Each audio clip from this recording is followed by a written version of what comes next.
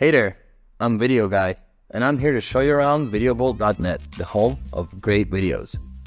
Everything you need to know is really simple, so in this video I'll take a few minutes to show you around all the tools you need to create amazing branded videos.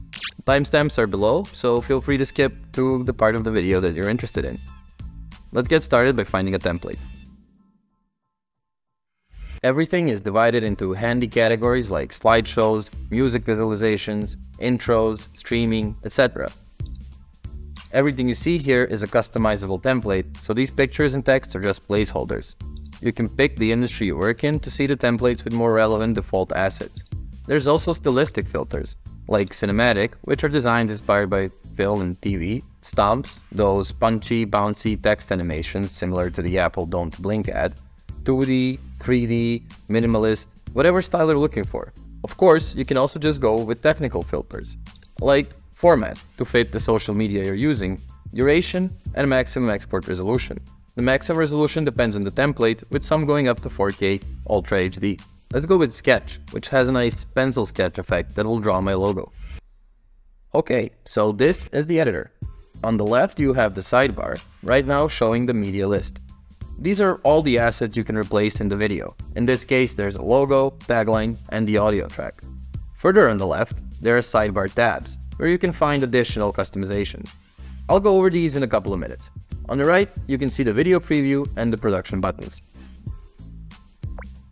Let's start by replacing the logo, which I can do by clicking it in the sidebar list. I could also click the floating button in the video preview. Now I can either upload a logo from my computer or pick one that I've previously uploaded from my media library. The logo I'll use is already in my media library, so I'll just go with that. Here you can see all the assets you've uploaded to VideoBolt. Just double click to select the one you want. Now I can see my preview is updating. It takes a little time to recreate the video with the new assets in place in a process called rendering.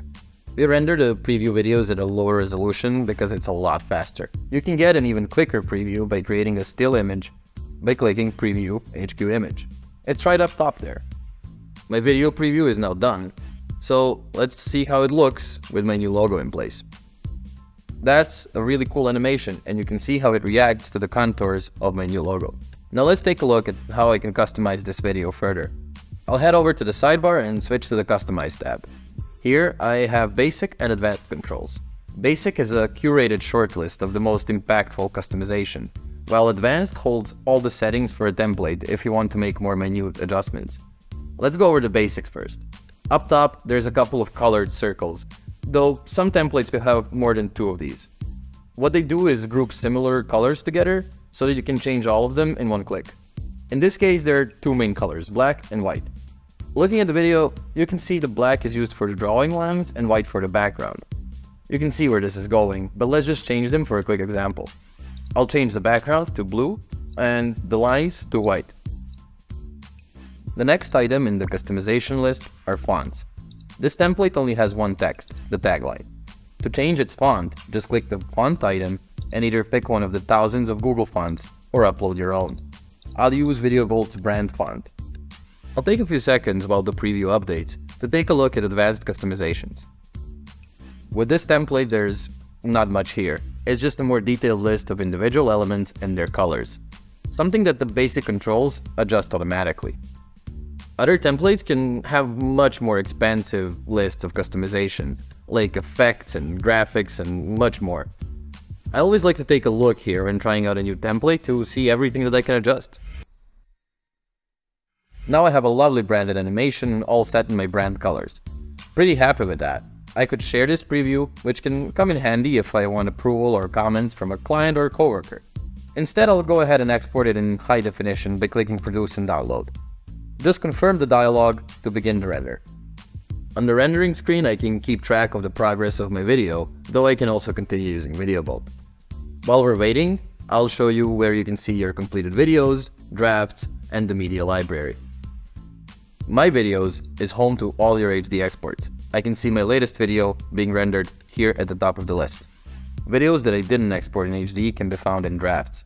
By default, they're organized by date, though you can filter and search when you're looking for an older draft. And finally, the media library. This is where we store everything you upload to the website. Logos, pictures, lyrics, videos, music, fonts, everything. The video should be done by now, so let's go take a look and go through the export options.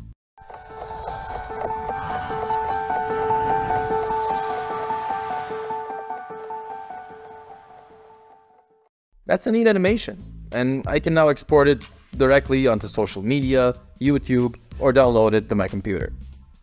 That covers all the basics of using the platform, and now you can experiment with all the thousands of templates in the library. If you have any other questions, just hit the chat box. Have fun making great videos. Good video, guy.